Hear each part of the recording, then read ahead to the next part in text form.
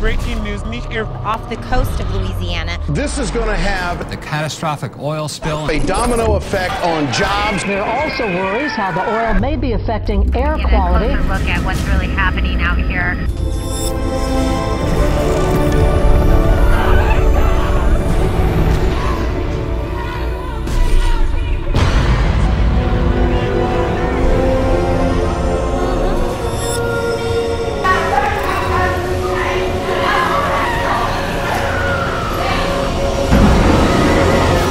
Oil from the BP well now threatens this community. The oil, oil is on the way here. It's just off the coast. That tar balls are starting to wash up.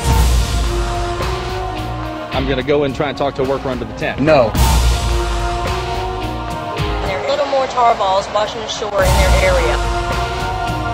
and I wanted to show you a little bit of firsthand what we're seeing. All that shit means nothing when it comes down to the oils hitting the beaches. Something needs to be done.